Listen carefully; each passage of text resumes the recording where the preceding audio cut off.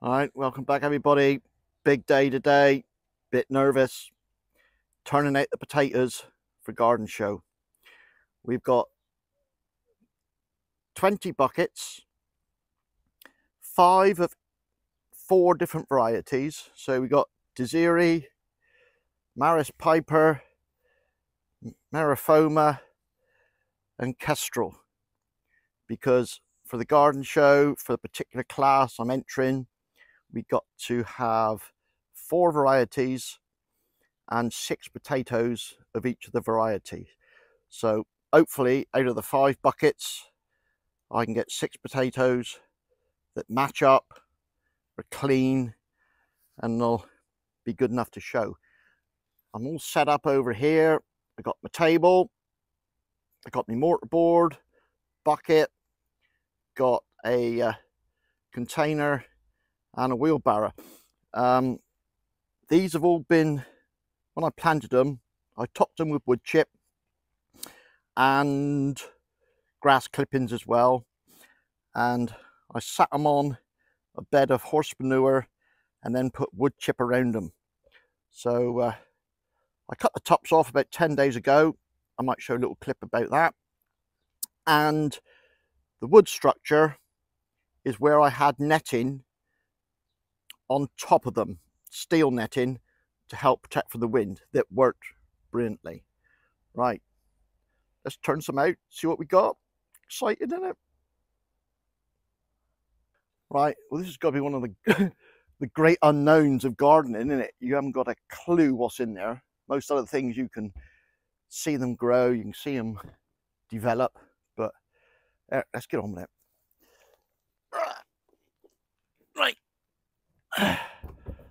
with the Desiree. What I'm going to do is get the wood chip off. Oh, I can see them already. See them already.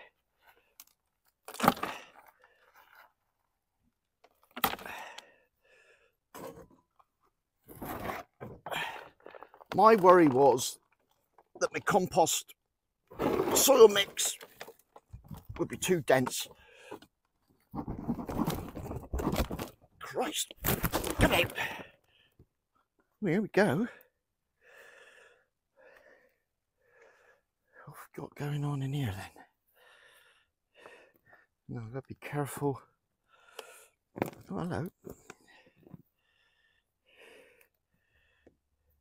Ants. Lots of ants.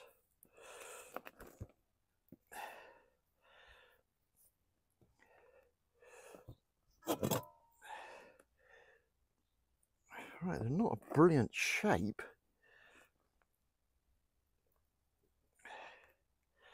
Not a brilliant shape. These, but my word, there's some potatoes in here.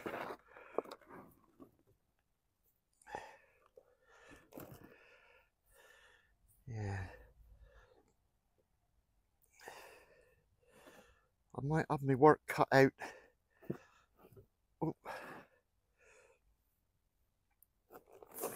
Finding six that'll match up.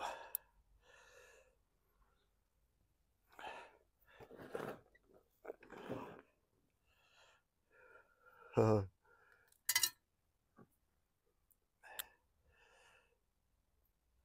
bit smaller ones.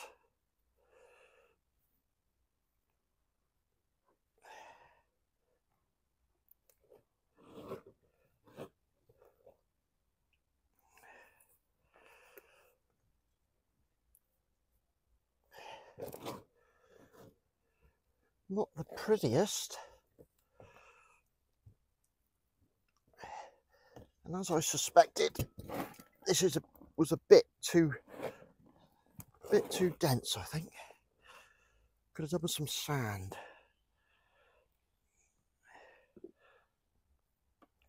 Right.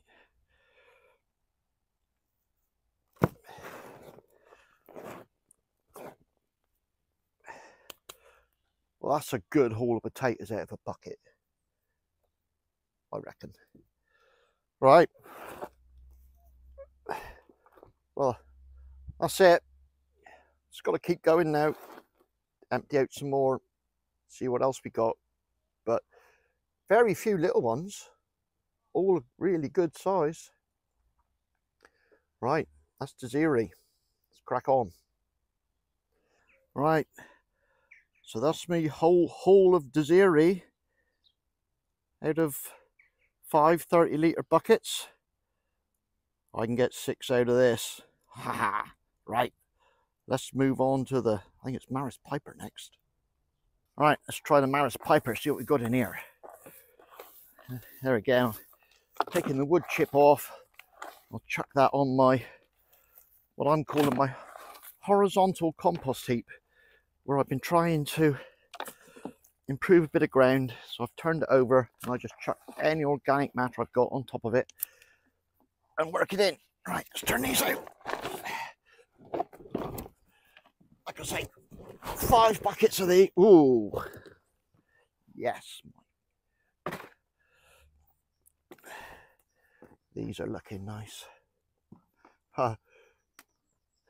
I'm so paranoid, I even made sure my fingernails were cut really short this morning so I don't damage the skins. These are a nicer shape. But then, I, I don't know what they should look like for the different varieties really. But I know a good looking potato when I see it. Whoop. I got a few small ones, gang gang. I can try your recipe for small potatoes and a cold beer.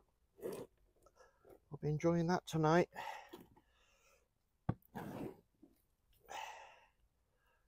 seed one. Note to self, Pete, next time, don't have your compost quite so dense, I think. But I've got, I've just ordered, well, they're here now. I ordered up some seed potatoes that you can plant like the end of July, August from Marshalls. They sent me a email, come on their mailing list of um, potatoes for Christmas. I mean, what? They've been held back in cold storage, bought out now, and you can uh, plant them up and they'll be ready for Christmas. So once I've got over the trauma of garden show, I'll be planting them up. Right.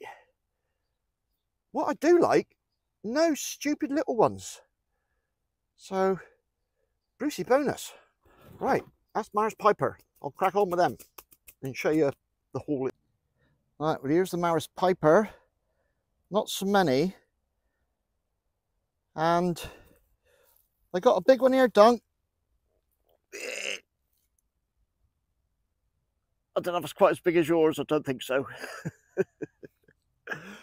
um, but yeah, not so many. But I reckon I can get six potatoes out of that. Beauty. Let's go on to the Marfona.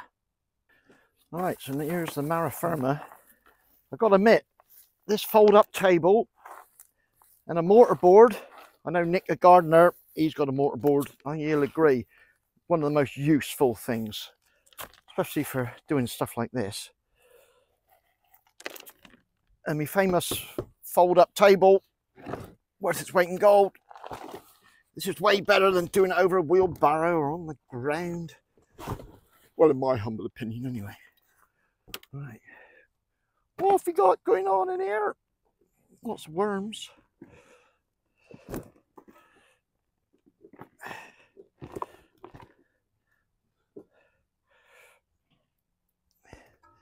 They look very similar to the Maris Piper. Oh, I don't want you to be different shapes. I want you to be all the same shape. So I can pick six. I mean, it's quite a talk about giving myself a bit of a difficult one to do first time. Yeah. Four varieties, six potatoes. I've got five buckets. So, uh, so far, I reckon I can get six of each out of the ones I've done. So I reckon we'll be good. I know it's only the local garden show, but I've got a bit of a competitive uh, streak to me. Right, let's um, crack on with the rest. Beauties. Right, so that's the Marfona. The most small ones of any of them. And the first ones I've had with, I'm guessing, that scabby bit is probably scab. So, might struggle to get me six out of this lot. We'll see. Clock's ticking. Let's crack on. Right, so this is the last variety, Kestrel, and it was the one with the least amount of uh, top growth. So, ooh, I think this is like a multicoloured potato. oh, God. The ignorance of the first timer. Right, have we got in here then? Oh, yeah. Pink and white ones.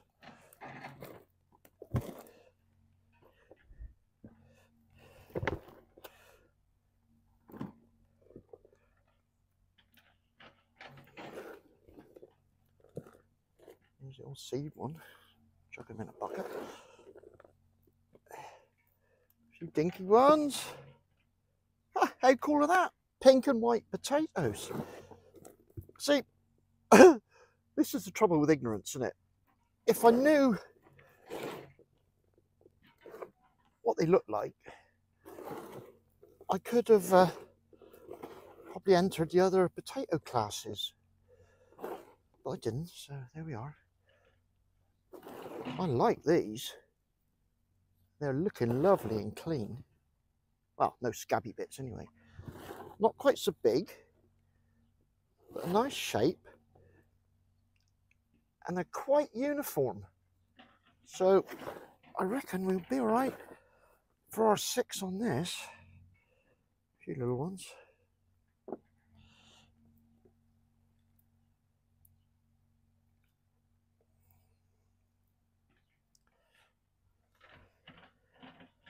Nice shape for peeling. No weird lumps and bumps. Chuck that in your bucket.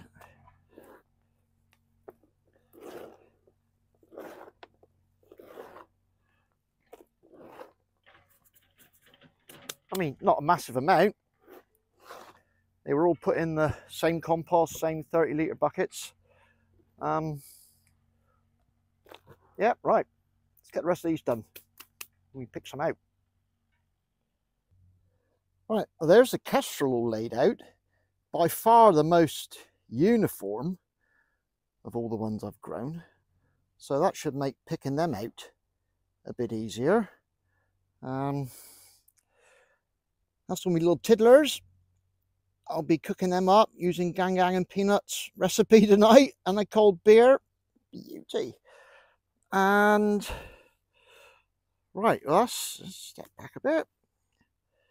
That's the full harvest out of 30, no, 20 30 litre containers.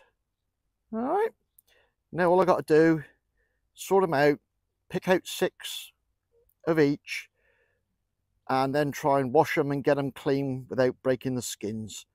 Then all the rest will go to a top secret dark location to be stored to be used over winter. Right, there we go. Right, that's me potatoes picked out the best I can. That was a traumatic time in my life. I had a bucket of water that I swapped for each lot because I was worried about the grit pulling off the the skins. And I've got no idea how how much, when I got a sponge in there, how much to, to scrub them, I just don't know. Anyway, that's me uh, 24 potatoes for the show. A few spares, a few scabby ones. I'm going to wrap them up now in some um, kitchen towel, stick them in a box, and uh, yeah, I don't know whether to wash them again later or just leave it go. Well, I just don't know. I'll worry about that later. So that's them. Wish me luck.